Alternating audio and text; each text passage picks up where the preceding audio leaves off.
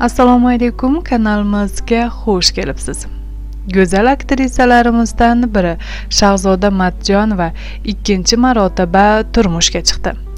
Bu haqda u instagram sahifasida turmush o'rtog'ini tavallud topgan kuni bilan tabriklagan posti orqali xabar berdi.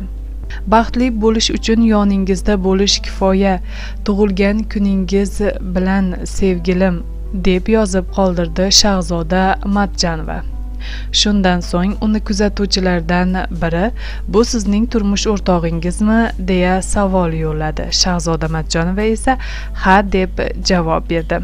Ammo shahzoda matjonovani kimga qachon va qayerda turmushga chiqqani haqida umuman ma'lumot yo'q. Shahzoda matjonova juda ko'p gullar va sharlar bilan tushgan fotosuratlari orqali buni anglash qiyin emas.